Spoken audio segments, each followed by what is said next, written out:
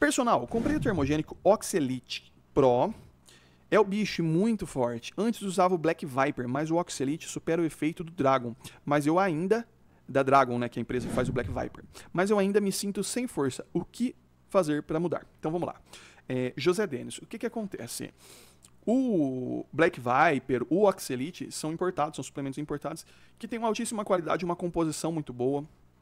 No Oxelite tem o DMA agora, que ajuda muito no seu desempenho, concentração, é bem interessante. São coisas que tem suplementos importados que não tem no nacional, porque não pode, a Anvisa não deixa, tá? Então são suplementos que vão melhorar muito seu desempenho, diminuir fadiga muscular, você vai treinar demais, tá? Mas assim, em questão de força, vai muito do que você, se você dormiu bem durante a noite, isso faz muita diferença.